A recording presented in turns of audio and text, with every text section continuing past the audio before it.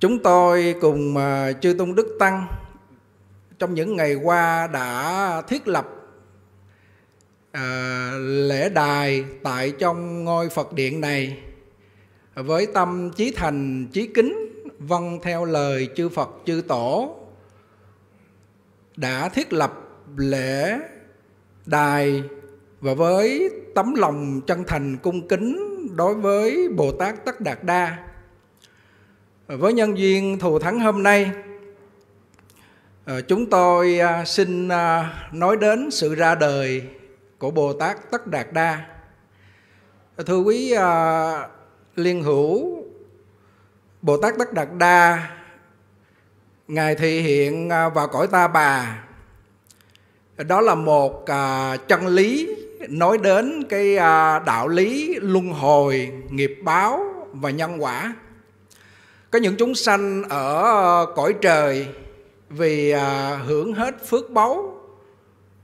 Theo lời à, tổ sư ấn quang à, dạy rằng trong văn sao ngài có nói khi những người ở trên cõi trời hưởng hết phước báu thì hoa trên đầu héo ú rất nách rịn mồ hôi à, áo quần nhơ nhớp và có những hành động thô tháo với tiên nữ cho nên thành ra phước báu hết phải đọa xuống nhân gian đó là cái việc mà giáo lý luân hồi sanh tử mà Đức Phật đã khai thị à, trong à, các kinh tạng. Riêng với à, Bồ Tát Tất Đạt Đa, Ngài ở cung trời nội viện Đau Xuất Giáng sanh vào cõi ta bà là do hạnh nguyện của Ngài để vào cõi ta bà Chứ không phải vì hưởng hết phước cõi trời mà bị đọa lạc. Đó là một cái chân lý mà Ngài thể hiện để cho tất cả chúng sanh Cõi người, cõi trời Hiểu ra rằng à, sự luân hồi sanh tử trong lục đạo là có. Hôm nay chúng ta là con người Thì không biết chúng ta là ở cõi trời xuống hay là con người chúng ta trở lại làm người hay là súc sanh trở lại làm người? Hay là ở địa ngục sanh lại làm người? Hay là ngạ quỷ sanh lại làm người? Thì sự thể hiện của ngài muốn nói lên một cái giáo lý, một cái chân lý sáng ngời. Đó là sự luân hồi sanh tử à, của chúng sanh trong lục đạo. Tuy nhiên, ngài ở trong lục đạo luân hồi, nhưng mà ngài không bị luân hồi trong lục đạo đây là một chân lý mà ngài thị hiện à, ra cõi đời để nói cho chúng sanh. Cho nên trong văn sao ấn tổ mới nói là trong thời mặt pháp phải lấy một cái biểu pháp của đức phật thích ca mâu ni thị hiện vào cõi đời đó là luân hồi là nghiệp báo là nhân quả. Nếu không đem cái giáo lý này mà giáo dục cho chúng sanh trong cõi ta bà thì thực sự chúng sanh sẽ chìm đắm mãi trong sông mê không có thời gian thoát ra được thưa quý vị à, thực sự trong một cái pháp hội trang nghiêm như vậy làm cho chúng tôi à, thực sự cũng à, hơi hồi hộp một chút. Vì sao vậy? Vì trong 22 năm chưa khi nào mà đại chúng và chúng tôi khởi lên một lòng tôn kính mà trang trí tôn tượng trên lễ đài và những bánh kem và những bông hoa. Thực sự là tấm lòng chúng tôi hôm nay cảm nhận lại những năm về trước 2019 cũng tổ chức một cái đại lễ Phật đản Tuy nhiên, nó không có phải long trọng và trang nghiêm và cái lòng tôn kính chúng tôi và đại chúng à, để mà tôn tượng à, Bồ Tát Tất Đạt Đa sơ sinh trên một lễ đài trang nghiêm như vậy. Quý vị thấy quan hệ không ạ? Và sáng hôm nay chúng tôi lên và đích thân cùng chư tăng để để trang trí và trang uh, nghiêm tôn tượng của ngài và và bảy cái bánh kem là bảy cái đó hoa sen tượng trưng cho lúc ngài đản sanh ra đời. Thực sự đây là một cái việc mà chúng tôi nghĩ không có Phật lực gia trì, Bồ Tát lực và Pháp lực chư tăng lực và và thần lực của chư Phật gia hộ thì thì thực sự khó để mà trang trí thành một cái cảnh tôn nghiêm trong buổi tối ngày hôm nay cho quý vị đang ngồi để hưởng thụ Phật pháp, đúng không ạ? Hưởng thụ. Chúng tôi ngồi lắng nghe cái bài viết mà thầy Minh đọc trong lòng chúng tôi, thực sự cảm nhận được cái lòng tôn kính của thầy để vào trong cái buổi lễ hôm nay, nói chung cũng như là đối với bồ tát tất đạt đa. Quý vị cảm nhận gì không ạ? Và cái bài múa của à, quý Phật tử, lớp đệ tử quy thực sự làm cho chúng tôi đắm chìm ở trong đó. Và và cái bài nhạc mà nói đến Phật pháp tăng thiệt là hay. Và chúng tôi hôm nay ngồi tại đây thực sự ghi nhận nơi đây bằng tất cả tấm lòng của quý thầy đã bỏ thời gian ra trong những ngày qua để mà an trí tôn tượng cái à, cái buổi lễ hôm nay để được trang nghiêm và và những Phật tử ở các tỉnh thành. Và một số cái Phật tử ở khắp nơi trên thế giới vẫn dành cái thời gian để mà tham dự cái buổi lễ này. Thực sự đây là một cái điều mà chúng tôi à, ghi nhận nơi đây bằng tất cả tấm lòng mà quý mến. Và cầu nguyện hồng ân tâm bảo, nhất là đức bổn sư thích ca mâu ni phật, phóng ánh ngọc hào quang gia hộ cho toàn thể chư tôn đức tăng mỗi quý Phật tử hiện diện cũng như đang online trực tiếp trên toàn thế giới và toàn nhân loại được thân khỏe, tâm an, vô lượng quan thọ và khi bảo báo thân này đồng vãng sanh Tây Phương cực lạc. Dạ Di Đà Phật. Thưa quý vị, à, cái điều mà chúng tôi vừa nói qua hôm nay à, à, cách hai năm rồi chúng ta vì dịch bệnh cho nên không có tổ chức lễ Phật đản được. Hôm nay dịch bệnh tương đối lắng dịu xuống cho nên thực sự chúng tôi trở lại cái pháp hội và cái cái, à, cái buổi lễ hôm nay trong lòng à, vô cùng hồi hộp lo lắng. À, thứ nhất đó là cái lượng phật tử về cũng khá đông. Vì vậy cho nên thành ra mọi người hết sức yên lặng giữ trang nghiêm thanh tịnh để lắng nghe những điều chúng tôi chia sẻ. Đức phật xuất hiện ở cõi đời có những cái đặc biệt gì chúng ta nên à, lưu lại trong tâm để chúng ta áp dụng tu hành trong một đời này có thể à, thọ hưởng được và và khi mãn báo thân này mình sanh về cõi tây phương cực lạc, đức phật ra đời có nói điều này không? Có. Thưa quý vị à, thường các vị bồ tát nhất sanh bổ xứ, nghĩa là bồ tát một đời nữa là thành phật, thì thường là các ngài ở cõi trời đâu xuất nội viện cũng như Đức Phật Thích Ca Mâu Ni à, thành Phật ở cõi này à, xong rồi trong 12.000 năm, bây giờ là gần 3.000 năm rồi. Và sau khi à, chánh pháp, tượng pháp và mạt pháp diệt hẳn thì Bồ Tát Di Lặc ở nội viện đâu xuất tiếp tục xuất hiện ở cõi ta bà này để thành Phật. Và cõi ta bà này vì sao khi Đức Phật Thích Ca Mâu Ni ngài đản sanh ra, ngài bước đi bảy bước? Vì à, trong bảy vị Phật đã thành Phật trong cõi này đó là Đức Phật Tỳ Bà Thi, Thi Khí, Tỳ Xá Phù, Câu Lương Tôn, Câu Na Hà Mâu Ni, Ca Diếp và Thích Ca. Nghĩa là bảy vị Phật ra đời và Đức Phật Thích Ca Mâu Ni là vị Phật thứ bảy cho nên Ngài bước đi bảy đó hoa sen. Cho nên chúng tôi làm cái biểu pháp mà tại nơi pháp hội của mình đó là bảy cái bánh kem làm thành hoa sen tượng trưng cho bảy bước đi của Bồ Tát Tất Đạt Đa. Mà ngày mai chúng tôi sẽ nói đến bảy bước đi này. Mỗi bước đi ngài nói một câu. Và bước đi thứ bảy ngài mới nói là thiên thượng thiên hạ trên trời, dưới trời. Duy ngã độc tôn là chỉ có cái chân ngã là tôn quý hơn hết. Vô lượng sanh tử, ư kim tận hỷ. Ngày mai chúng tôi sẽ nói sâu về điều này. Hôm nay chúng tôi nói đến cái giáo lý mà đức phật ra đời để lại cho chúng ta và 15 công đức tấm phật cái giáo lý mà Đức Phật Thích Ca Mâu Ni ra đời Ngài là một vị Bồ Tát dùng cái nguyện lực để thể hiện vào cõi ta bà. Còn chúng sanh chúng ta vì cái nghiệp lực mà đầu thai vào cõi ta bà. Cái chỗ này đại chúng nên lưu tâm và nhớ kỹ cái điều này. Bồ Tát à, Tất Đạt Đa à, Khi Ngài ở nội viện đâu xuất Đó là Bồ Tát Hộ Minh.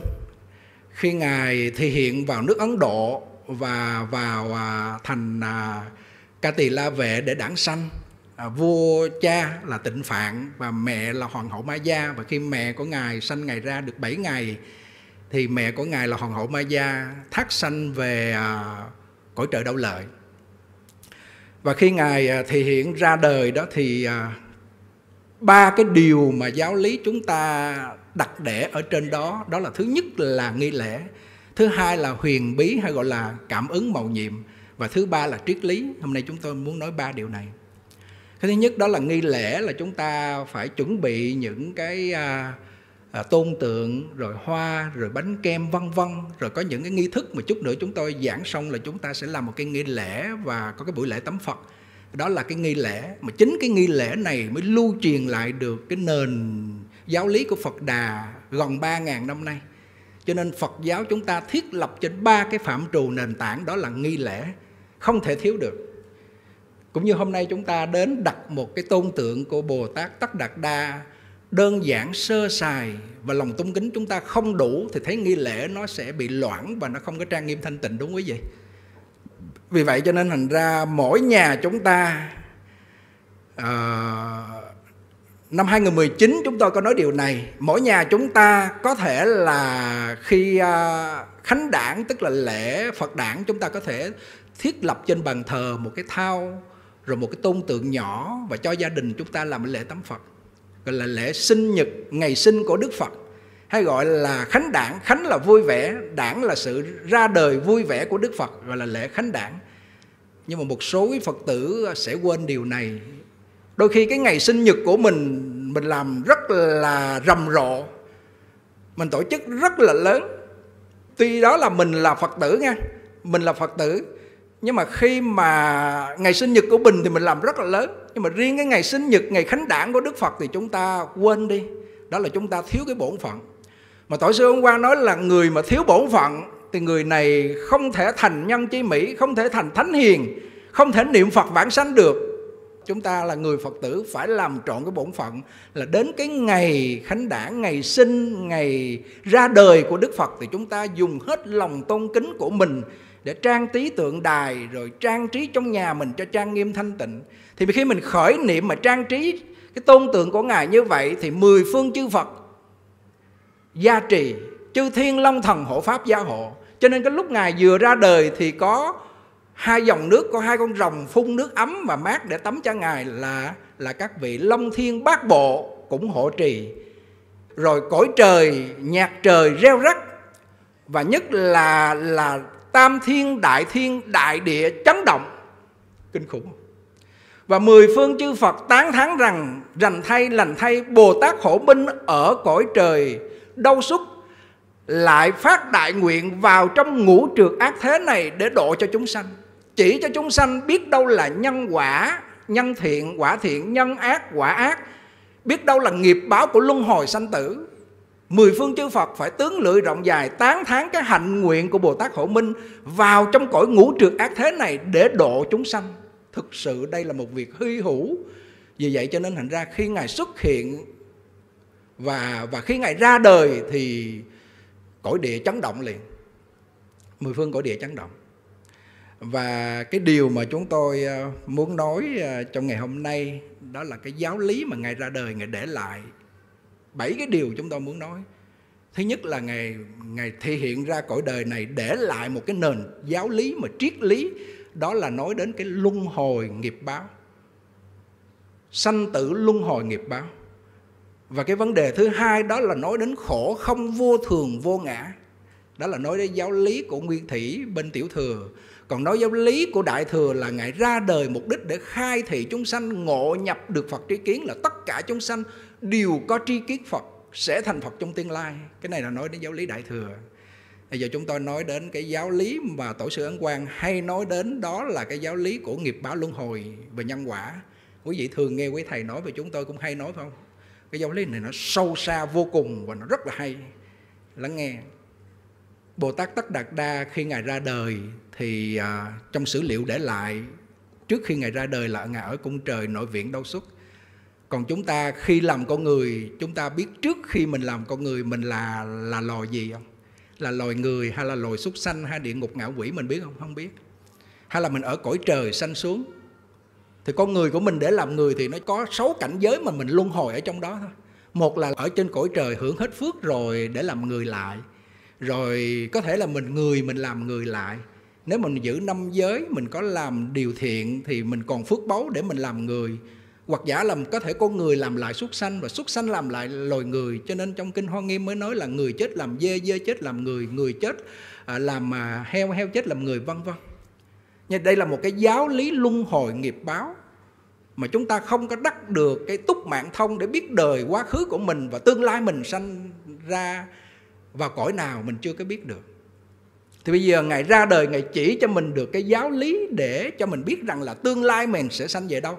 Thì cái quá khứ mình ở cõi người hay cõi trời hay xuất sanh địa ngục ngạ quỷ, mình không biết rồi.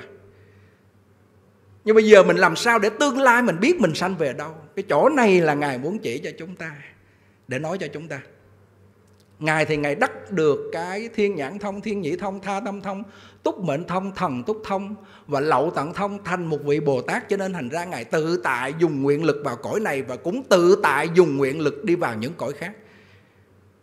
Còn riêng chúng ta là vì nghiệp lực đi vào cõi này mà cái nghiệp lực để làm con người, đó là nghiệp ái. Ái bất nhiễm, bất sanh ta bà mà niệm bất nhất, bất sanh tịnh độ. Vì nghiệp ái mình sanh vào cõi này nếu mình không có cắt được cái dòng ái sanh tử đó, thì mình vẫn tiếp tục có thể làm người sanh lên cõi trời hoặc là làm súc sanh vô địa ngục ngạ quỷ. Hôm nay mình hiểu được cái giáo lý của đức phật rồi. Bây giờ mình gì? Vĩnh biệt chào, vĩnh biệt luân hồi bằng cách là gì? Cắt cái dòng sanh tử, đó là dòng ái, dòng tham liếng, quyến liếng.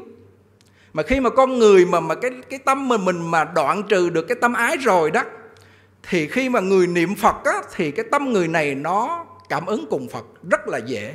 Còn nếu mà cái tâm tham sân si ái dục mà mình còn ở trong tâm nó chứa đầy trong bụng dạ đó thì mình niệm Phật cái tâm mình nó ngăn cách cùng Phật rất là khó cảm với Phật. Vì vậy cho nên cái mục tiêu của mình công phu là đột phá được những cái nghiệp báo để mình thoát ly sanh tử luân hồi giống như Bồ Tát Đắc Đạt Đa đó là cái giáo lý mà nghiệp báo luân hồi sanh tử ngài ra đời ngài chỉ cho chúng ta. Đó là một nền triết lý mà trước khi ngài ra đời đã có 99 đạo giáo mà có hai cái đạo giáo mà mãnh liệt nhất trong cái thời của ngài. Đó là cái đạo giáo mà nói rằng con người khi uh, sanh ra mang tấm thân hình hài này và khi chết đi là mất hẳn không còn linh hồn và cũng không còn cái thể xác.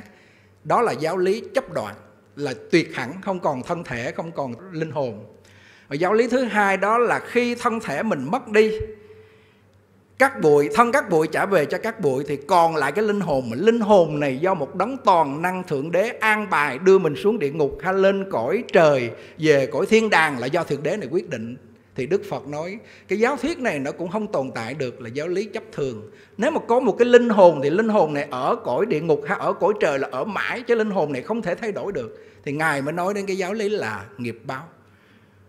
Cái nghiệp chúng ta nếu là tham, hiện tại tham và lúc lâm chung bị quyến liếng nhà cửa của cải vật chất không rời được nó và quyến liếng cái thân này luôn thì tâm thức này nó phải đi vào cảnh giới ngạ quỷ sân hận là là tâm thức này buồn bực tức tối chuyện gì cũng không bằng lòng chuyện gì cũng không dự ý chuyện nhỏ cũng xé ra cho to, bực bội tức tối, thì tâm sân này nó chiêu cảm cảnh giới của địa ngục.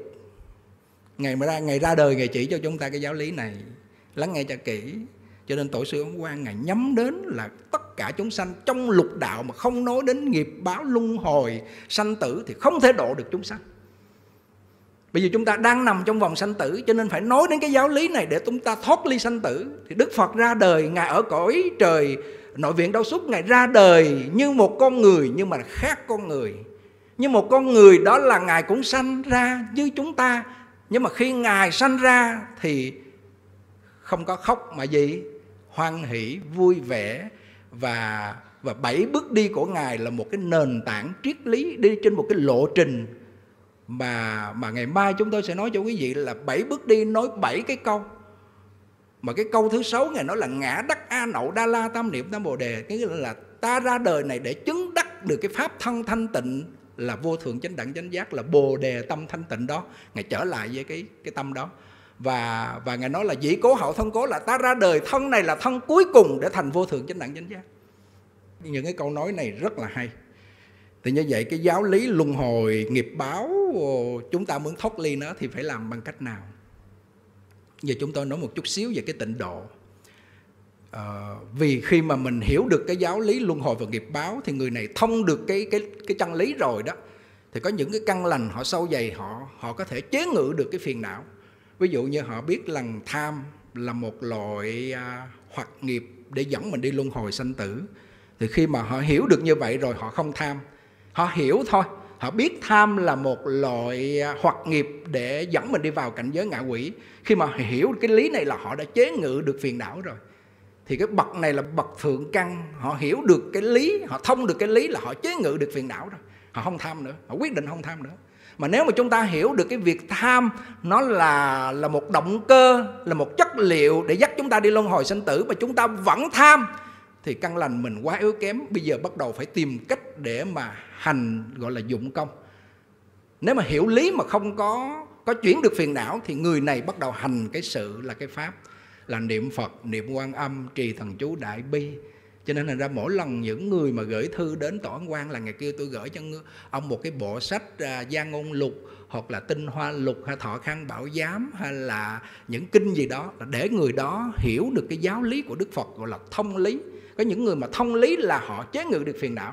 Có những người họ thông lý mà không chế ngự được thì ngài kêu nè nè nè nè phải niệm phật nha phải niệm quan âm nha phải trì thần chú đại bi nha.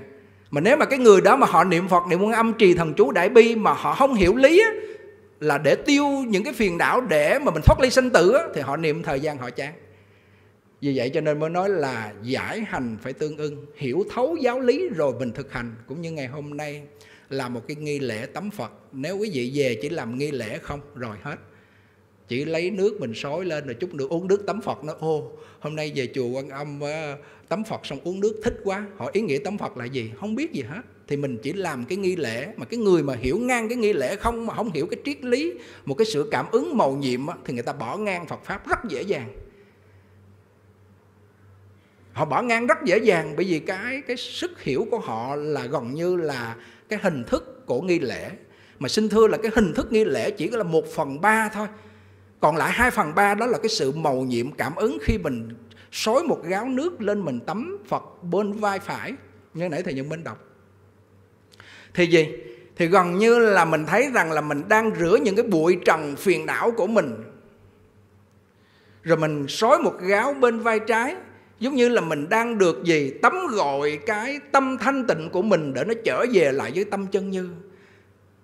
Thì đây là cái triết lý mà khi mà mình tắm Phật, mình khởi lòng tôn kính như vậy mà nhà nào, chùa nào, nơi nào mà mà mà thiết lập lễ đài, mà trang nghiêm cung kính là được chư Phật quan hỷ gia hộ, vì mình tôn kính một vị Bồ Tát là là bậc đáng tôn kính thì được các vị long thần hộ pháp gia hộ cho mình. Đây là nói đến cái sự màu nhiệm cảm ứng. Cho nên giáo lý nhà Phật thiết lập trên ba cái nền tảng. Đó là nghi lễ. Mà cái nghi lễ là một cái thông tin, một cái hình thức để lưu truyền lại Phật pháp. Nếu mà không có tấm Phật, không có chư tăng xuất gia theo Đức Phật, không có chùa chiền, không có hình thức nghi lễ thì đạo Phật không thể tồn tại đến ngày hôm nay, đúng không? Mà nếu mà chấp cứng ngay nơi nghi lễ thôi, không hiểu về triết lý là là Đức Phật bước đi bảy bước là cái gì? Ý nghĩa hoa sen là cái gì? Rồi một tay chỉ trời, một tay chỉ đất, đó là thiên thượng, thiên hạ duy ngã, độc tôn, vô lượng, sanh tử, ư kim, tận hỷ. Cũng không hiểu cái giáo lý, cái ý nghĩa đó là gì. Thì chúng ta tu một thời gian và và sẽ bỏ rất là dễ dàng. Cho nên thành ra lúc mà chúng tôi học Phật học, có một cái vị thầy đó, ông nói cái nền tảng giáo lý của Phật Đà gom gọn lại trong ba vấn đề là nghi lễ, là huyền thoại hay còn gọi là cảm ứng là sự màu nhiệm và triết lý. Nắm vững cái điều này để mình đi sâu vào giáo lý nhà Phật thì nó rất là vững vàng. Hồi nãy giờ chúng tôi đang nói về triết lý giờ nói về cái sự cảm ứng màu nhiệm nữa. À, khi mà ngài thị hiện ra thì mắt phàm không thấy mà có rồng phun nước tắm. Hoa trên trời không thấy chư thiên mà hoa trên trời bắt đầu rơi rụng nhạc trời réo rắt và và đại địa trong mười phương pháp giới chấn động, đó là sự cảm ứng màu nhiệm, mắt phàm không thấy mà có, đúng không? Cũng như tổ ân quan nói là gì? Người niệm phật, niệm bồ tát quan âm. Niệm lớn thì có cảm ứng lớn, niệm nhỏ thì có cảm ứng nhỏ. Không có lẽ nào mà không có cảm ứng. Niệm lớn tức là cái tâm mình chân thành, thanh tịnh, tha thiết và và tâm mình nó tương ưng với tứ hoàng thể nguyện, chúng sanh vô biên thể nguyện, độ phiền não vô tận thể nguyện, đoạn pháp môn vô lượng thể nguyện học. Nếu mà tâm mình thanh tịnh mà tâm mình tương ưng với tứ hoàng thể nguyện á, thì thì tâm này gọi là tâm lớn, tâm rộng lượng, tâm vì chúng sanh để mà niệm, để mà độ chúng sanh thì có cảm ứng lớn. Mà tâm mình nhỏ nhen niệm thì có cảm ứng nhỏ, chứ không bao giờ không có cảm ứng. Thì nói đến cái sự cảm ứng này là nói đến cái sự màu nhiệm của đức phật ra đời à, ba cái giáo lý kế tiếp đó là khổ không vô thường vô ngã. Nếu mà ngài không ra đời thì chúng ta không biết sanh là khổ già là khổ bệnh là khổ chết là khổ thương yêu xa lìa khổ thù ghét gặp gỡ khổ cầu không được khổ. Tám cái khổ này thì giàu nghèo gì cũng phải bị dướng mắt trong đó. Cho nên tổ quan hay nói là gì? Thông minh không cự lại nổi nghiệp lực phú quý không thoát khỏi luân hồi. Không thoát khỏi khổ của cái luân hồi như vậy cho nên là ngay ra đời ngài chỉ cho chúng ta cái điều khổ này. Và và ai muốn chấm dứt cái điều sanh già, bệnh chết, thương yêu, xa lìa, thù ghét, gặp gỡ khổ thì gì? Ngài kêu là phải niệm phật vãng sanh tây phương cực lạc. Mà khi vãng sanh tây phương cực lạc là hoa nở thấy phật ngộ vô sanh. Mà khi mình ngộ vô sanh mà sống với cái tâm bất sanh bất diệt ở cõi tây phương cực lạc thì người này không còn sanh già, bệnh chết hôm nay cái ngày phật đản, chúng ta nói chúng ta muốn lòng vô cái vấn đề đức phật đản sanh để chỉ cho mình ngộ vô sanh và chỉ cho mình để vãng sanh. Chỗ này đại chúng lắng nghe. Đức phật đản sanh ra đời chỉ cho tất cả chúng sanh đều có phật tánh để ngộ nhập phật tri kiến. Đó là sống với tâm vô sanh. Nhớ chỗ này và muốn sống với cái tâm vô sanh trong một đời này để liễu sanh thoát tử thì chỉ có pháp môn niệm Phật thì chúng ta mới vãng sanh Tây Phương, hoa khai kiến Phật, ngộ vô sanh thì chúng ta mới chấm dứt sanh tử luân hồi trong một đời. Chứ còn không nếu mà mình làm theo cái cuộc đời của Đức Phật Thích Ca Mâu Ni là tu vô lượng đời kiếp để mà tự lợi lợi tha tự giác giác tha giác hạnh viên mãn và đầy đủ tam minh tứ trí ngũ nhãn lục thông thì phải trải ba đại a tăng kỳ kiếp ngài nói con đường này nó du khê lắm. Con đường này nó khó đi mà mà thực sự ngài đến hôm nay để mà mà ở cung trời đâu xuất mà thị hiện để thành một vị bồ tát, để thành phật, thì ngài nói rằng là vô lượng đời kiếp ta đã mang nhiều cái thân. Trong câu chuyện tiền thân của ngài ngài nói mang thân làm gà, làm vịt, làm bò, làm heo, làm chó. Nhiều loại thân để sanh tử luân hồi sau khi đó rồi, ngài mới giác ngộ được rồi, bắt đầu là ngài mới hành cái hạnh của bố thí nội tài đó là buông bỏ tất cả những cái gì trong thân thể mình ai sinh là cho hết cho nên trong kinh mới nói là trong tam thiên đại thiên là trong cõi ta bà này không đâu là không có thân xác và không có cái sự bố thí của Bồ Tát Tắc Đạt Đa. Kinh khủng chưa? Mình làm nổi không? Không làm nổi. Thực sự không đủ sức và cái căn cơ mình làm không nổi. Cho nên Ngài mới ra đời để Ngài chỉ cho chúng ta là pháp môn tịnh độ. Vì vậy cho nên hình ra chư tổ, nhất là hòa thượng tịnh không, hay nói đó là gì? Chư phật sở dĩ hưng xuất thế. Chư phật sở dĩ ra đời là nói đến cái bổn nguyện siêu thắng vô tác diệu lực bất khả tư nghì của đức phật a di đà. Chư phật sở dĩ hưng xuất thế duy thuyết di đà bổn nguyện hải. Do bổn nguyện của đức phật a di đà phát đại nguyện rằng bất cứ một vị Phật nào thành Phật trong một tha phương quốc độ nào mà không nói đến cái y báo là cảnh giới của con, không nói đến là 48 lời nguyện của con và không giới thiệu đến cái danh hiệu của con thì thề tôi không thành ngôi chánh giác. Lắng nghe cho kỹ chỗ này. Vì cái bổ nguyện của Đức Phật A Di Đà là là như vậy, cho nên tất cả chư Phật thành Phật ở tha phương quốc độ nào đều nói đến cái bổ nguyện chánh báo và y báo của Đức Phật Di Đà. Nào, cho nên mới nói là chư Phật sở dĩ hưng sức thế di thiết di đà bổ nguyện hải cho nên cái con đường muốn chấm dứt nghiệp báo khổ đau cái con đường muốn à, thoát ly sanh tử cái con đường muốn nhận diện được cuộc đời này là khổ thì người này phải thành tâm niệm phật phải thành tâm niệm quan âm. Nghe bồ tát quan âm phát nguyện sao? Ai khổ khổ cầu con không được phải không? Cầu con trai không được phải không? Niệm quan âm cầu con trai. Ấn tổ hay nhất trong văn sao? Khổ có con gái rồi mình cầu con trai không được. Niệm quan âm cầu được con trai rồi có con trai rồi cầu con gái, niệm quan âm thành kính thờ ngài được con gái. Rồi cầu phú quý là do mình bằng cùng nghèo, không biết bố thí cúng dường. Bây giờ mình cầu phú quý, niệm quan âm cầu phú quý. Rồi có người mình hay bệnh tật, do mình sát sanh nhiều đời nhiều kiếp, và trong đời này mình cũng sát sanh và ăn thịt chúng sanh. Thọ mạng mình ngắn, bây giờ mình thành tâm niệm quan âm, lòng từ mở ra, thương chúng sanh, cho nên phát tâm ăn chay, thọ mạng kéo dài. Người này nghèo khổ cùng cực, không biết bố thí, tâm bẩn chặt rít rắm keo kiệt niệm quan âm lòng từ mở ra. Bước bố thí cúng dường người này thành phú quý đại gia tỷ phú. Hay không? Rồi à, cầu đại niết bàn. Người này luân hồi sanh tử mình niệm quan âm cầu đại niết bàn được đại niết bàn. Niệm quan âm cầu vãng sanh được vãng sanh. Niệm phật cũng thế. Thì đây là cái pháp mà đức phật thích ca mâu ni ra nói trong bộ kinh pháp hoa. Đó là phẩm phổ môn để cho chúng ta hiểu được cái hạnh nguyện của bồ tát quan âm, nói kinh di đà, kinh quán vô lượng thọ, cho chúng sanh trong thời mạt pháp là 10.000 năm, chánh pháp 1.000 năm đã qua, tượng pháp 1.000 năm cũng đã qua, còn lại 10.000 năm mạt pháp là chánh pháp, tượng pháp và mạt pháp cộng lại là 12.000 năm, đó là cái quỹ trong quá trình à, chánh pháp và tượng pháp, quỹ thời gian trong quá trình chánh pháp và tượng pháp của Đức Phật Thích Ca Mâu Ni ra đời qua khỏi 12.000 năm rồi thì lúc này là Bồ Tát Di Lặc ra đời. Thì Ngài nói là trong cái thời mạt Pháp 12.000 năm còn lại Nếu mà chúng sanh biết tu pháp môn tịnh độ Thì liễu sanh thoát tử rất là dễ dàng. Mà nếu mà chúng ta không tu pháp môn tịnh độ Thì Ngài hay dùng cái danh từ là gì? À, đói thì uống mà khát thì ăn.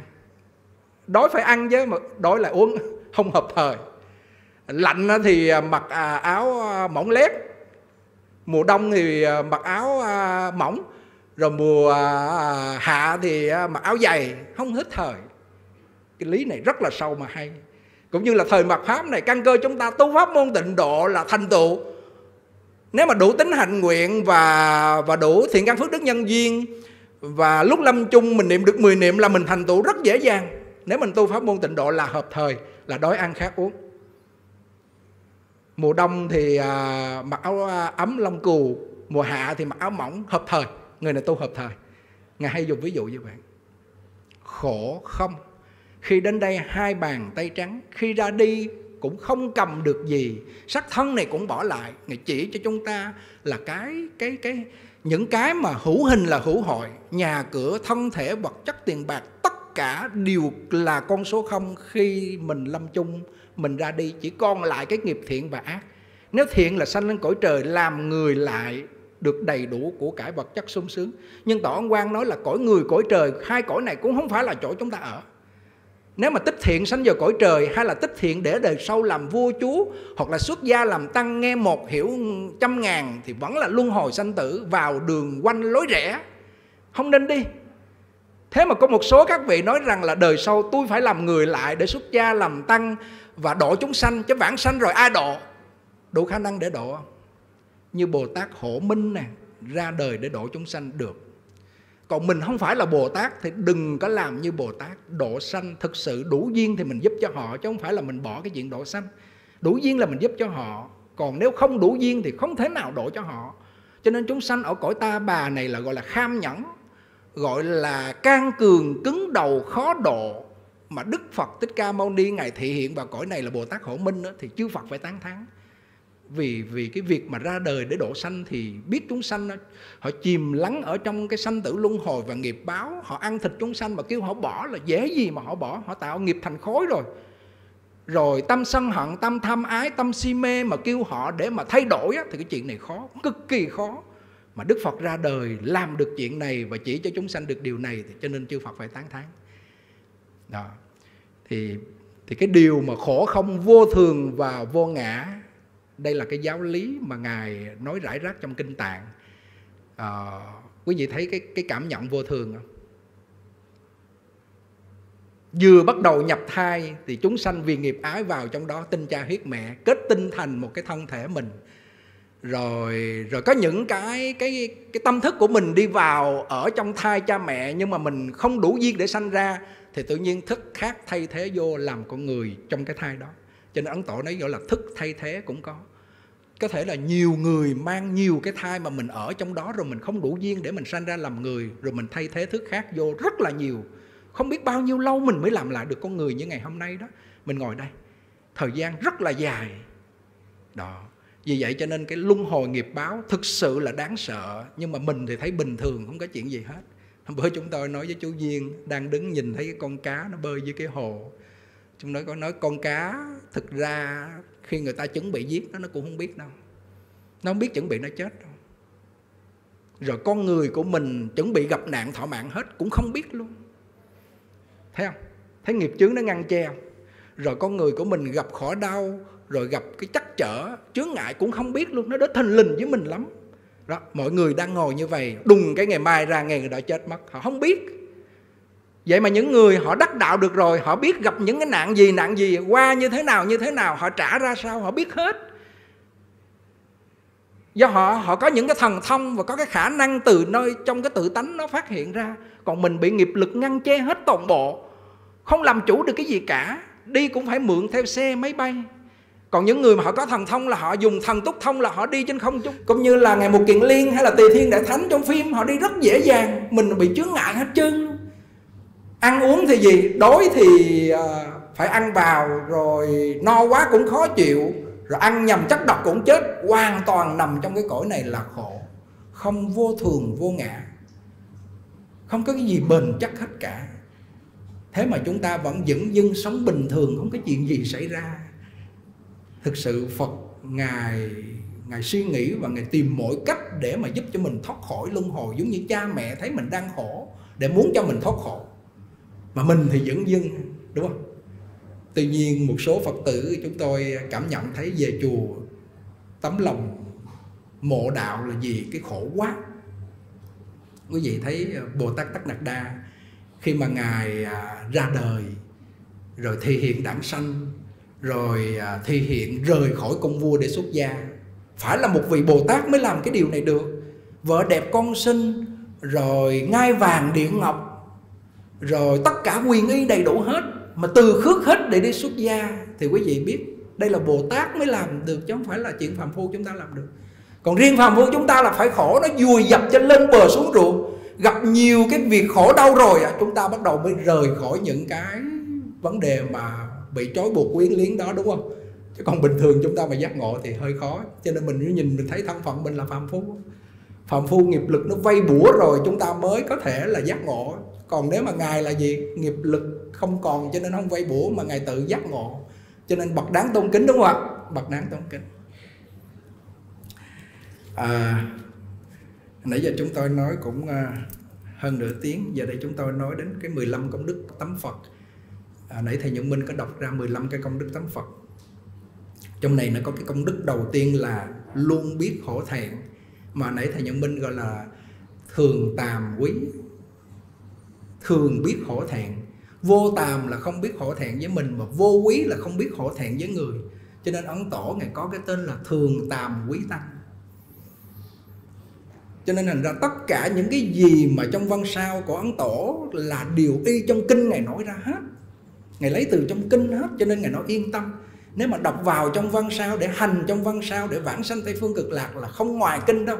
Chắc chắn là không có lạc đường lầm lối đâu. Cái công đức đầu tiên là gì? Thường biết hổ thẹn luôn biết hổ thẹn. Cái chữ hổ thẹn này nó hay vô cùng. Ngài coi nếu thí dụ mình làm những điều xấu ác rồi mình à, mình được một cái tiếng khen mình thấy à, mình nở mũi ra mình thấy mình à, hãnh diện hơn phải không?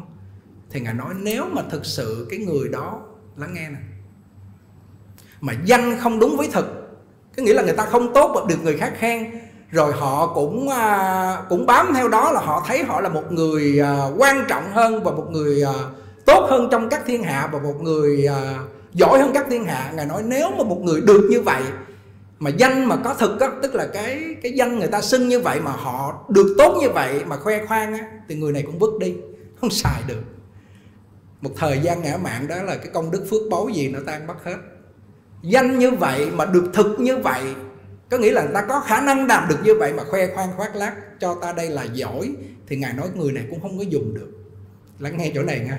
Cho nên mình mà biết mình là giỏi rồi, ẩn kính tài năng liền đừng có khoe khoang khoác lác. Mà khi khoe khoang khoác lác là mất hết tất cả những cái khả năng của mình sẵn có. Thì ngài kêu là cũng không xài được. Còn nếu mà danh không hợp với thực á, tức nghĩa là bản chất của mình không tốt như vậy, mình không giữ được nhâm giới mà mình tự xưng mình là phật tử, ví dụ vậy đi, mà danh không có đúng với thực á, thì ngài nói không có cái gì hổ thẹn bằng. Dùng danh từ nặng hơn là không có cái gì nhục bằng. Ghê không? Cái chỗ này chúng tôi đọc, chúng tôi chiêm nghiệm rất sâu vì vậy cho nên thành ra luôn biết hổ thẹn. Mà cái người biết hổ thẹn là người này sẽ gì? Là người này sẽ tôn kính người khác. Người này biết hạ thấp mình xuống. Cho nên thành ra trong văn sao là gần như là tổ sư ấn quan ngài tự chê mình. Ngài kêu là nhỏ, tôi thiếu học. Lớn lên không biết gì, ăn bám phổ đà. Sống hơn 50 năm nay, chả biết được gì. Các hạ hỏi thì tôi biết cái gì thì tôi đáp cái đó thôi. Chứ tôi không phải là người thiện hữu trí thức. Tôi không phải là người đại thông gia kinh khủng không? Bồ tát coi như là cổ phật đại thế chí mà mà mà khiêm hạ như vậy, mà biết hổ thẹn như vậy. Cho nên hôm nay mình lên mình tắm phật. Cái công đức đầu tiên là mình biết hổ thẹn biết hổ thẹn với tội lỗi, biết hổ thẹn với nghiệp chướng của mình. Và nhìn ngài cũng là một chúng sinh tu hành, bây giờ thành một vị bồ tát, còn mình là người phàm phu, bây giờ còn ngồi đây.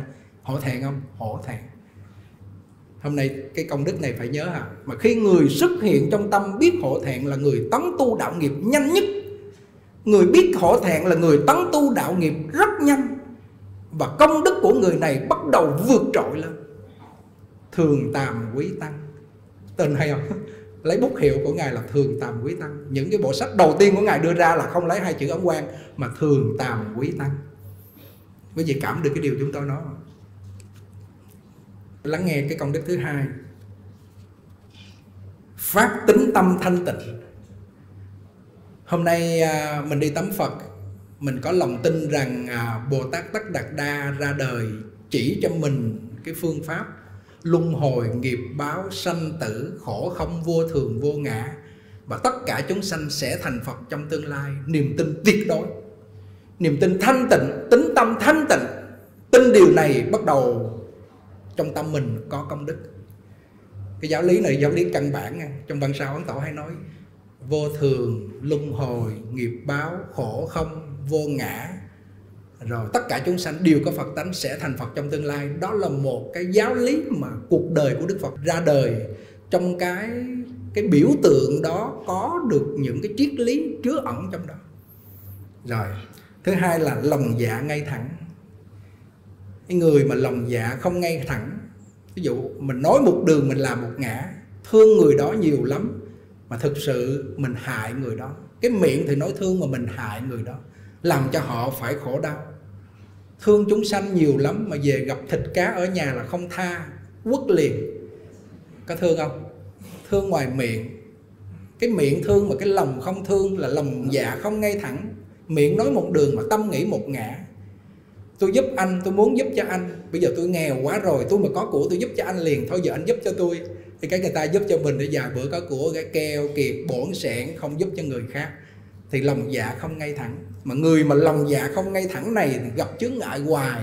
Mà không gặp chướng ngại thì cũng chết trẻ.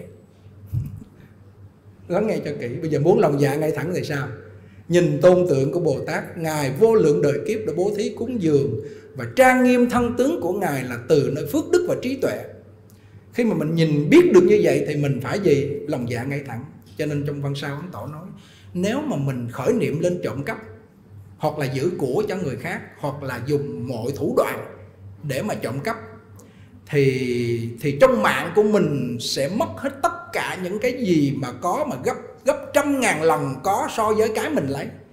Cái cái mình lấy không là bao, chỉ một phần mà khi khởi niệm lên trộm cắp như vậy là là trong mạng mình mất gấp trăm ngàn lần so với cái mình lấy. Do lòng dạ không ngay thẳng. Mà khi mà cái người này mà họ chân thật họ niệm phật, niệm quan âm, trì thần chú để bi họ tu tập thì cái lòng dạ lòng dạ họ ngay thẳng, tâm họ chân thật. Không có ai phá vỡ được cái tâm chân thật này. Còn nếu mà không có công phu tu tập thì tâm phàm phu khởi lên là tham sân si, chế ngự toàn bộ. Mà tham sân si nó chế ngự toàn bộ thì gì? Thì bị nó hại và nó làm chủ bản tâm, nó làm cho lòng dạ mình không ngay thẳng. Họ mở miệng ra là nói nói sai sự thật, sợ sợ thiệt thòi cho mình. Còn cái người mà họ có lòng dạ ngay thẳng rồi, họ mở miệng ra, họ nói dầu cho họ bị tan xương nát thịt, họ vẫn nói ra sự thật. Để làm gì? Đó giữ cái công đức lòng dạ ngay thẳng. Đây là một loại công đức. Cái thứ tư là gần gũi bạn lành. Hôm nay về tắm phật thấy bạn lành không? Quá lành đấy chứ lành không? Có có ai mà vô trong này hôm nay dự lễ tắm phật mà mình suy nghĩ là không biết người đó có lương lẹo cho mình hay không? Cái chỗ này là cái chỗ mà trang nghiêm thanh tịnh tắm phật chứ không phải chỗ làm ăn. Nếu mà cái chỗ làm ăn để mà đôi co giá cả thì mình sợ người ta lừa lọc mình, đúng không? Chứ còn vô đây là gặp toàn là bạn lành không, ai cũng nở nụ cười, đúng không? Ai cũng quan hỷ, uống nước rồi ăn bánh rồi mọi người sống một cái trang hòa trong một cái pháp hội để mà mình làm lễ tắm phật. Bạn lành không? Đúng không ạ? Không biết họ về nhà, họ là người ác, không biết chứ. Vô đây là lành đó yên tâm đi. Đúng không? Rồi. Cái thứ năm là nhập trí tuệ vô lậu. Thiên thượng, thiên hạ. Thiên thượng là trên trời, thiên hạ là dưới trời. Duy ngã độc tôn. Duy ngã độc tôn là chỉ có cái chân tâm thanh tịnh, là trí tuệ vô lậu là quý báu hơn hết. Cái chỗ này là cái chỗ mà khó giảng ấy nghe thì khi mà mình thấy tay chỉ trời, tay chỉ đất là mình hiểu được cái giáo lý gọi rằng là nói đến cái giáo lý gọi là chân ngã. Nói đến thể tánh thanh tịnh là trí tuệ vô lậu rồi. Và hình tướng của ngài như vậy mà mình tắm lên làm được cái phước báu như vậy, mình làm như vậy, được như vậy và mình nói như vậy thì được như vậy, mình nghĩ như vậy thì được như vậy. Nếu nghĩ ác thì được ác. Điều ác đến nghĩ thiện là được điều thiện, mà nghĩ về công đức tịnh nghiệp là được công đức của tịnh nghiệp. Cho nên tất cả đều do tâm chiêu cảm hết nghĩ làm sao nó ra như vậy hết. Công đức thứ bảy là luôn thọ trì chánh pháp. Khi mình về đây thì khi mà hồi nãy giờ chúng tôi nói những cái cái giáo lý chánh pháp như vậy là quý vị à, đang đang thọ nhận, đúng không? Mà khi mình thọ nhận nhưng mà không gìn giữ, cho nên thành ra cái người mà họ thành tựu được cái chánh pháp là họ phải thọ và trì nữa. Hai điều, thọ là nhận. Chúng tôi đưa cho quý vị cái bánh, đưa cho quý vị thức ăn, quý vị thọ nhận, rồi ăn, gìn giữ đó, hoặc là đưa tiền, hoặc là đưa cái gì đó, mình nhận rồi mình gìn giữ. Đưa chánh pháp, đưa kinh, đưa văn sao, nhận, gìn giữ, thực hành theo thì mới thành tựu được. Chứ mà thọ nhận về vứt đó không có hành trì thì không kết quả được. 8. Có thể thực hành theo lời Phật dạy, chính tùy ý vãng sanh và vuốt độ thanh tịnh của chư Phật. 10. Nếu sanh trong hàng người thì sẽ sanh trong gia đình tôn quý, giàu sang, được mọi người cung kính và ai nấy cũng đều hoan hỷ. Vậy lắng nghe chỗ này. Bây giờ mình muốn à, sanh vào trong gia đình tôn quý thì bây giờ phải làm sao? Bắt chước theo cái hạnh của Bồ Tát Tất Đạt Đa là Bồ Tát Hộ Minh ở công trời đau xuất. Vì sao Ngài sanh được công trời nội viện đau xuất? Ngài làm nhiều điều thiện, bố thí tài, đem của cải vật chất bố thí nội tài thân thể của ngài cũng có thể là cho người ta những cái gì người ta cần. Bắt chước theo cái hành nguyện của ngài. Thì khi cái người mà thực hành tài thí, đời trước họ không có bố thí tài, nhưng đời này họ có bố thí tài, thì người này trong một đời thay đổi vận mạng. Như bản thân chúng tôi, đời trước thực sự là người không biết bố thí cúng dường, sanh do gia đình nghèo, rồi bản thân cũng bệnh tật nghèo khổ, thiếu thốn. Từ khi bắt đầu là phát tâm giảng pháp rồi à, giúp đỡ những người nghèo phóng sanh rồi nuôi các cụ lo lắng cho các vị thầy vân vân thì trong mạng mình bắt đầu có tiền thì phước báu nó sẽ đến. Như vậy hôm nay mình muốn à, có phước báu đến với mình thì mình học theo cái hạnh của Bồ Tát Tất Đạt Đa là phải bất tâm bố thí cúng dường. Rồi muốn có trí tuệ thì phải làm sao? Bố thí pháp. Muốn có được sức khỏe và thọ mạng kéo dài là bố thí vô ý được chưa? Rồi. Và cái thứ 11 là công đức sanh trong chốn nhân gian thì tự nhiên sẽ luôn tưởng nhớ đến Phật. 12 bè lũ ma quân không thể tổn hại và não loạn. Thứ 13 có thể hộ trì chánh pháp trong thời mạt pháp. Thứ 14 là được 10 phương chư Phật gia hộ. Cái này là nói đến cái sự cảm ứng. Hôm nay mình về mình tắm Phật. Mắt phàm không thấy như vậy, Chư thiên, long thần, hộ pháp, chư Phật. Dõi theo người đó, Theo người đó để hộ trì. Vì người đó tôn kính một vị Bồ Tát xuất hiện ở cõi đời này làm lợi lạc cho chúng sanh. Cho nên thành ra khi mình tôn kính như vậy thì cái tần số của mình cái tâm thức của mình cảm được chư Phật theo để hộ trì và gia hộ cho mình.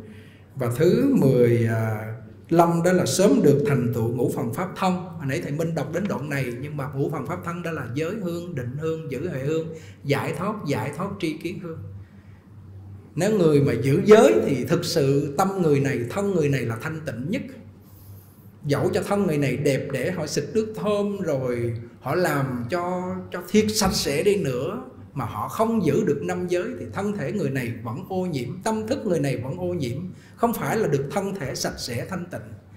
Cho nên thành ra là là cái việc giới luật của nhà Phật mà giữ được là thân tâm người này là sạch sẽ nhất, không bị ô uế. Công đức thứ 15 còn 10 phút nữa, đó là 7 giờ rưỡi, chúng ta bắt đầu vào nghi lễ tắm Phật tầm khoảng một tiếng hoặc là hơn tiếng một chút. Bởi vì hôm nay số lượng khá đông. Mà chút nữa trước khi tắm Phật thì chúng tôi cũng sẽ nhắc nhở một chút xíu để mình trang nghiêm thanh tịnh, ngồi lắng lòng thanh tịnh để mình chờ đợi ha. Cái điều mà chúng tôi à, muốn nói thêm cho quý vị hôm nay nữa đó là cái việc mà muốn cho được thân tâm mình thanh tịnh về để tắm Phật và sau khi tắm Phật xong rồi mình vẫn về giữ được cho cái tâm mình thanh tịnh, thì có bốn chữ này đại chúng lưu tâm. Lắng nghe kỹ. Quanh quẩn đâu cũng là trong văn sao. Mọi người hồi nãy nghe chúng tôi cũng lạ. Ngày Phật đản mà nói khai thị những lời của tổ sư Ấn Quang ở trong văn sao, đúng không? Hầu như là những điều chúng tôi nói ra hôm nay là để toàn tâm trong văn sao, cho nên thành ra nó nhập tâm trong đó là thường chúng tôi nói có một số các vị không nghe không nổi. Nghe do không nổi một số các vị mà họ có duyên với tổ sư ấn quang, có duyên với văn sao rồi, họ nghe một cái là họ cảm xúc. Như thầy tánh, thầy đọc hết ba bộ văn sao tam biên, tục biên, chánh biên. Hầu như ngày nào chúng tôi cũng nghe. Mà khi mà chúng tôi nói ra, chúng tôi biết cái cảm giác của thầy là thích thú, cực kỳ thích thú văn sao. Mà có một số những người họ nói rằng là là thầy tâm đắc quá rồi thầy buộc người khác chứ người khác không thích chúng ta nói quý vị tu tình độ mà không theo văn sao là quý vị lên bờ xuống ruộng gặp chướng ngại hoài. Chắc trở hoài chịu không nói bốn chữ gì? Lắng nghe nè. Bốn chữ gì? Thanh tâm quả dục. Muốn giữ cho được tâm thanh tịnh từ ngay bây giờ cho đến về nhà sống với gia đình và cái điểm mốc là Phật lịch 2566 dương lịch 2022 bắt đầu mình làm cái lễ tắm Phật này là mình giữ bốn cái chữ này. Nãy giờ nói nhiều quá rồi, coi như mình quên. Thôi giờ giữ bốn chữ này đi. Thanh là thanh tịnh. Muốn tâm mình thanh tịnh, bốn chữ là thanh. Thanh là thanh tịnh, tâm là cái tâm thức của mình. Quả là ít ham muốn, hoặc là chế ngự, dục là là sự ham muốn, tài sắc danh thực thì thanh tâm quả dục, nghĩa là muốn cho tâm thanh tịnh, tâm an vui, tâm được trí tuệ, tâm thoát ly sanh tử luân hồi. Để vãng sanh tây phương cực lạc thì phải bớt ham muốn về tài sắc danh thực thì. Bớt ham muốn để mà lo cho cái thân này nữa luôn. Thanh tâm quả dục, có của xài chơi không có à? Thôi. Có vợ, có chồng là để sanh con cái, xong rồi thôi, chấm dứt. Làm được không? Cái chuyện này khó vô cùng, không phải dễ làm. Bao nhiêu người bây giờ lao đi kiếm tiền mà mình kêu họ bây giờ không cần thì làm sao họ sống? Giờ cần như thế nào? Cần là khi trong mạng mình nó có, nó đến mình xài. Trong mạng mình không có, mình biết không có, mình an vui sống với nó. Sống trong ngũ trượt ác thế này, sống trong cái dòng đời sanh diệt này, nhưng tâm mình là thanh tâm quả dục, thì mình không bị cái dòng đời sanh diệt này nó nhậm chìm mình làm được không? Khó chứ không phải dễ. Muốn cho tâm thanh tịnh thì thực sự người này phải thường xuyên niệm phật, thường xuyên niệm quan âm. Một ngày 50 biến chú đại bi. Nhưng hôm nay ngày lễ chúng tôi cũng không bỏ. Sáng dậy 2 giờ mấy cũng 25 biến. Hồi nãy trước khi lên trên này cũng tụng 25 biến. Lễ quan âm, lễ Phật. Cố gắng không bỏ, giữ 25 biến hoặc là 50 biến hoặc là 75 biến giữ như vậy để cho cái mức công phu của mình nó không có bị thối chuyển. Chỗ này cực kỳ quan trọng. Mà khi mà có cái pháp đại bi trong người mình rồi, thì sao? Hộ thân, hộ tâm, hộ quốc, tâm mình thanh tịnh. Lúc trước là từ 2007 đến 2016 là gần như là theo hòa thượng tịnh không chỉ bốn chữ a di đà phật. Không niệm quan âm lúc trước đó là chúng tôi cũng có niệm quan âm không trì chú đại bi. Thực sự cái pháp này hồi thượng tịnh không, dụng công đắc lực có thành tựu. Mà tổ sư ông quan nói, con người mình ăn một thứ gạo ăn hoài ăn không nổi, ngán. Ăn một thứ rau ăn hoài nuôi không nổi, ăn không nổi, nuôi thân phải nhiều loại rau, nhiều loại gạo. Tu cái pháp môn tịnh độ để vãng sanh còn phải có trợ hạnh. Trợ hạnh là gì ạ? In tượng phật phóng sanh trì thêm thần chú đại bi niệm quan âm. Làm tất cả những việc lành, lấy cái trợ hạnh này cùng với chánh hạnh để độc hành vừa rồi đây có cái lá thư mà ngày mai nếu có thời gian thì mình đọc, lắng nghe cái chỗ này. Cái vị đó hỏi ấn tổ nói rằng là niệm phật chỉ là chuyên nhất, giống như là ngài thiện đạo mới nói là chuyên tu mới có thể bản sanh được. Còn ngài nói trì thêm chú đại bi, niệm quan âm, rồi làm tất cả cái việc hạnh nó xen tạp làm sao bản sanh. Thì ông tổ nói này này này này này này ông không thấy ngài vĩnh minh duyên thọ? Vĩnh minh duyên thọ là tổ thứ sáu trong tịnh độ tông. Ngài Vĩnh Minh một ngày làm một ngàn điều thiện. Tụng một bộ kinh Pháp Hoa, Thì như vậy có xen tạp hay không? Nếu mà bậc thượng căn thượng trí, Nếu không nói cho họ điều này, Thì họ cứ chấp vào trong đó là chuyên nhất theo Ngài Thiện Đạo. Rồi bậc hạ căn hạ trí họ đi theo như vậy. Họ hành không nổi. Có những người đủ duyên là chuyên tu như Ngài Thiện Đạo, Một câu Phật hiệu A Di Thọ Phổ A Di Đạo Phật cũng được. Ngài dùng danh từ đó là viên tu Tức là viên tu là tu thêm những pháp môn khác Cũng không chướng ngại. Mà tất cả những cái trợ hạnh đó quy về là nguyện bản sanh Tây Phương Thì trợ nó cũng quy về cho chánh. Cho nên một số các thầy khi ở đây đi ra Và một số quý Phật tử À, khi lúc trước mà nghe chúng tôi giảng á, thì không đồng tình về cái chuyện mà chị thơm đại bi nó xen tạp không chịu. Niệm theo quan âm như vậy là niệm phật nó bị loạn đi. Phật di đà cũng không có phải giao hộ được như quan âm à. Được chứ? Mà vì sao ấn tổ lại kêu niệm phật là niệm thêm quan âm? Có cái lý do chỗ này. Có lý do chỗ này. À, cái ngày tống phật hôm nay ngoài cái thời gian nghi lễ rồi nghe múa rồi đáng lẽ chương trình hôm nay có hát nhưng mà tìm ca sĩ không có. Mấy hôm nay ngày phật đản cho nên ca sĩ đắt quá. Mà thôi bây giờ khỏi luôn để mình vẫn nhàn hát thôi giờ cho. Đi sao? nhưng mà nãy giờ quý vị nghe thấy cũng cũng an vui chứ đâu đến nỗi mà có hát mới vui đúng không ạ? Cái đó phụ họa mà cành nhánh thôi. Thực sự hôm nay chúng tôi nghĩ là quý vị phật tử ở phương xa nãy chúng tôi thấy xe cũng khá nhiều. Và các quyện các trên thành thành phố Đà Lạt và một số phật tử ở đây chúng tôi cảm nhận thấy là thích thú. Uh, nghe thầy Minh đọc mà cái giọng thầy Minh đọc là chúng tôi nghe là thôi mùi bẩn. Quý vị hoan hỷ rồi trong văn sao đúng không ạ? Mà chúng tôi nói là gần như là quý vị có tâm đắc trong này xứng đáng trong cái buổi lễ tắm Phật đúng không ạ? Xứng đáng. Nhớ nhớ cái việc mình công phu để làm sao để nó xuất hiện được cái tâm là thanh tâm quả dục. Tổ Ân Quang nói là cái việc mà niệm Phật để cầu Phật cảm ứng gia hộ là cái phần của Phật phải cầu rồi. Lúc tụng kinh thấy Phật đang hiện diện trước mặt giống như là Phật đang ban pháp âm lúc lễ Phật, thấy Phật đang hiện diện chứ không phải mong Phật xuất hiện nha. Nó khác ha? Lấy thấy Phật đang hiện diện. Lúc lễ quan âm là thấy Bồ Tát quan âm đang hiện diện. Cái phần cảm ứng đó là có. Nhưng mà riêng cái bản thân của mình phải khống chế được cái dục vọng. Thì từ cái tâm khống chế được cái dục vọng bằng cách là thanh tâm quả dục là ít ham muốn, bằng cách là là đoạn trừ tham sân si là bằng cách là mình làm cho thanh thanh tịnh đó. Mà cái tâm thanh tịnh đó cộng lại với công đức niệm phật thì tâm phật với tâm mình nó tương ưng. Chỗ này là cái chỗ bí quyết để mà mình dụng công. Hết sức tế nhị cái chỗ này. Nếu mà một mặt là dụng công mà một mặt là cứ ngã mạng tham sân si để cho phiền não lẫy lừng, thì ra công nhiều như con giả tràng xe cát biển đông mà cái kết quả lại ít có nhân đó, có cách dụng công đó, có thời gian dụng công đó, nhưng mà kết quả không có. Không khống chế được dục vọng. Mà cái khống chế được dục vọng ở đây, ngoài cái việc mà mình bản thân tự khống chế mà cần phải nhờ đại chúng. Quý vị thấy hôm nay có cái đại chúng đi dân đèn, dân hoa rồi mình mình đang ở trong một cái đạo tràng này, tự nhiên nó giữ cho thân tâm mình trang nghiêm, đúng không? Cho nên ngài nói cái cái người mà phải bậc căn thượng thượng ở một mình trong nhà tối, họ ở riêng một mình, tâm họ vẫn thành kính, như là ở đối trước phật bồ tát và đại chúng, thì căn lành người này là phải sâu dày. Chứ không, họ không làm được. Họ ở một mình hoặc giả là là không ai biết đến thì họ sẽ giải đại ngay, họ giải đại ngay. Cho nên cần phải có cái đức đại chúng, gọi là đức chúng như hải. Đức chúng như hải. Cho nên thành ra suốt cuộc đời của tổ ấn quang, từ 21 tuổi xuất gia cho đến 80 tuổi 80 tuổi, không rời đại chúng.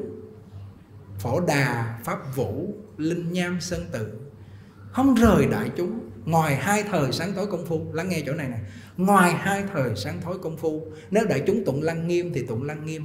Nếu đại chúng tụng phổ môn như mình ở đây thì tụng phổ môn. Nếu đại chúng tụng di đà thì tụng di đà. Nếu đại chúng tụng pháp hoa thì mình tụng pháp hoa. Hai thời đó là uyển chuyển theo đại chúng. Không có quan trọng là là buộc phải là chuyên nhất tùy duyên nhớ chỗ này nha. Hai thời sáng tối theo đại chúng, có người hỏi lăng nghiêm ngày kêu cũng được, có nhiều người hỏi con trì đại bi rồi con niệm phật cũng được, nhưng mà quan trọng là giữa câu phật hiệu làm sao không gián đoạn. Cái bí quyết của ngài vãng sanh là cái chỗ đó.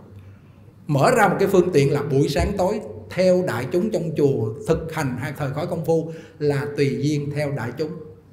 Lăng nghiêm cũng được ờ, pháp hoa cũng được, phổ môn gì cũng được nhưng mà quan trọng là suốt ngày phải giữ được cái tâm hổ thẹn, giữ được cái tâm cung kính và giữ được câu phật hiệu.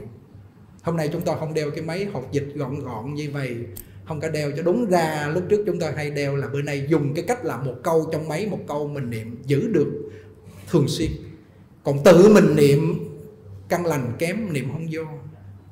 Giữ không được, định định căn kém, niệm căn kém, tuệ căn kém, giữ không được còn cái máy nó giữ nhịp cho mình một câu, nó nhắc mình một câu, mình niệm được một câu.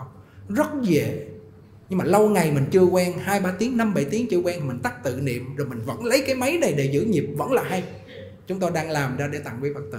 Cái cách này là đi đứng nằm ngồi, nói năng động tịnh, mặc áo ăn cơm vào đại tiểu tiện và đại tiểu tiện là không mang cái máy theo mà mình vẫn niệm được, rồi ra mình giữ máy để giữ nhịp thì chúng tôi thấy cái cách này phù hợp với chúng tôi mà không biết cái gì thấy phù hợp hay không. Chứ mà giữ đi đứng nằm ngồi là cái cách này là tương đối là dễ mà duy trì được, duy trì được. Hôm nay buổi giảng đến đây thôi. Và và cái buổi giảng tấm Phật này kết lại chỉ có bốn chữ đó là thanh tâm quả dục muốn tâm thanh tịnh, muốn tâm thoát luân hồi sanh tử, muốn tâm được an vui, muốn tâm được có trí tuệ, thì bớt ham muốn. Vì tâm mình vô lượng đời kiếp, nó ham muốn đầy ắp bụng dạ rồi, bây giờ phải bớt cái đó, bớt. Thêm câu phật hiệu, thêm danh hiệu quan âm. Nếu mà mình chân thành, mình khuyên nhủ họ, mà có người họ đồng tình, họ niệm phật được, họ niệm quan âm, họ trì thằng chú đại bi được. Lắng nghe nè, lắng nghe nè. Hơn cúng dường bảy báu suốt trăm năm thực ra cái buổi giảng ban đêm mà làm cho chúng tôi mà hôm nay để mà có cái buổi giảng này lâu lắm rồi gần như là buổi tối là chúng tôi phải dành thời gian công phu. Hôm nay nhân cái ngày Phật đản thì chúng tôi thực sự để mà lên trên này để mà mà cùng với chư tôn đức tăng ni và quý phật tử ở phương xa về để mà hoan hỷ để làm cái buổi lễ. Thực sự đây là một cái cái cái dịp mà nó, nó quý giá vô cùng. Thì thôi hôm nay à, thời gian đến đây chúng tôi ngưng cái buổi giảng. Và cái việc tắm Phật thì ờ, quý Phật tử vẫn ngồi như vậy. Bây giờ chúng tôi không có không có để quý vị ngồi dưới đất là nó sẽ mỏi chân. Khi quý vị ngồi như vậy thì cái số lượng người ở sâu hồi nãy giờ ở bên ngoài, họ không có được sung sướng như mình ngồi bên trong, đúng không? Thì phải ưu tiên cho họ trước đi tắm, vô vô trong xếp hai hàng đi tắm trước vì sao như vậy? Nếu mà hàng trước mà đi vô tắm, thì hàng sau cứ ngồi nhìn hàng trước nó phong tâm lắm. Không có thể nào họ yên ổn được. Mà hàng sau họ cứ đi từ từ vô mình, không biết bao nhiêu, còn bao nhiêu người mình cứ ngồi mình, cứ niệm phật. Nam mô bổn sư thích ca mâu ni phật không? Theo cái máy chút nữa mở thì bắt đầu từ người từ bên ngoài đi vô, từ từ từ từ. Rồi mình tắm, rồi mình uống, mình hoan hỷ. Có nhiều người thì lúc trước tắm Phật 219 có cái cô đó ra, cô nói, trời ơi, con mẹ đó hình như nó thích uống nước, nó tắm lâu quá trời, mình đợi muốn chết trời đi tắm Phật mà chửi lộ ông ơi. Quá trời rồi, hư rồi hư rồi. Hoan hỷ, người ta tắm nhiều thì mình hoan hỷ mình được phước nhiều, đúng không? Có cái cô đó có số bốn năm gáo trong bụng nói mẹ này số nhiều quá trời. Nói như vậy còn công đức không? Công đức tâm phật, mặc tiều, sân hận xuất hiện lên rồi thì gì? Nhất nhất sân chi hỏa năng thiêu vạn khoản công đức chi lâm. Một niệm sân nổi dậy ghét người khác là công đức tiêu rụi hết, trong tâm tiêu hết. Cho nên muốn người khác tôn kính mình là mình phải tôn kính người khác, không bực bội người đó, không chửi rủa người đó, không quyền rủa người đó, thì người khác sẽ tôn kính mình. Đúng không ạ? Rồi, khi tắm phật được một ly nước thì gì? Mình mang ra tới, ngoài kia mình ngồi, chứ đừng có đi đường uống, đừng có đi uống cái dấp té cái bể họng á, gãy họng á. Đi từ từ từ từ ra để mà uống ha à, thực sự hôm nay thầy khánh tệ thầy nấu nước rất là ngon mà thầy giới thiệu hoài mà không biết ngon kiểu nào. À, để chút nữa mình uống cái thứ nó ngon thì sao? Chắc chắn là ngon bây vì chúng tôi đã chuẩn bị rồi. Cho nên thành ra hình hình như hôm nay nghe tấm phật cho nên có nước về đông ghê nha. Mấy ngày chủ nhật tu hình như hơi ít à. Thêm nữa có người mang mấy chai đó đựng nữa. Dạ với đạo phật thì, ờ, thì thôi hôm nay chúng tôi ờ, thực sự là ghi nhận nơi đây bằng tất cả tấm lòng quý mến đối với uh, chư tôn đức tăng ni và toàn thể quý phật tử ở các nơi cũng như đang online trực tiếp ờ, trên toàn thế giới để mà tham dự cái buổi lễ tắm Phật.